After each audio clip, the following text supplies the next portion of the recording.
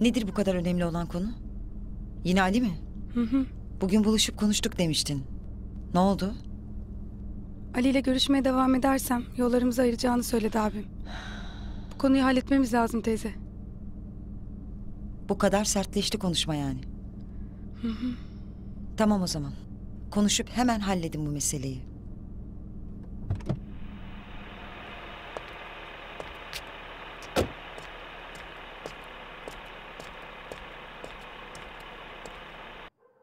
O araziye fabrika kuramazlar. İzin vermeyeceğim. Bir şekilde o hisseleri elden almamız lazım. Sonra ne yapacağız o arazileri?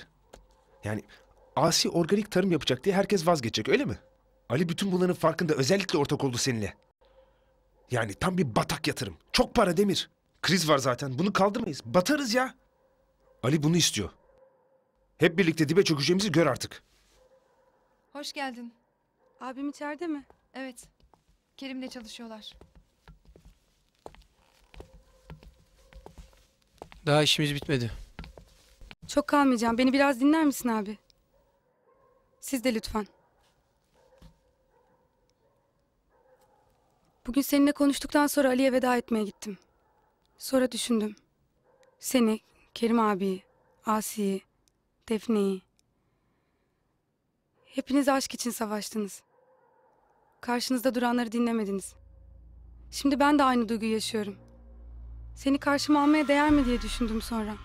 Büyü diyorsun ya sen hep bana. Haklısın. Bunun için kendi kararlarımı verebilmeliyim. Sizin kadar güçlü olabilmeliyim. Benim kahramanımdın sen.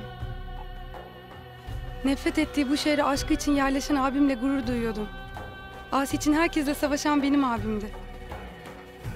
Keşke cevabım seni memnun etseydi. Ama etmeyecek.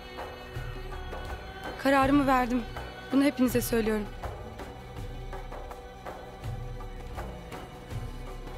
Ali'den ayrılmayacağım.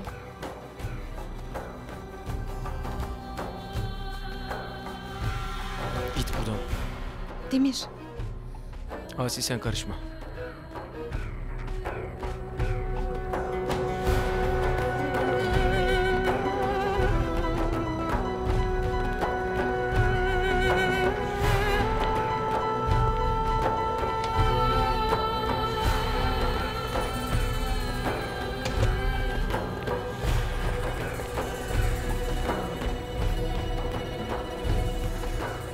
Demir.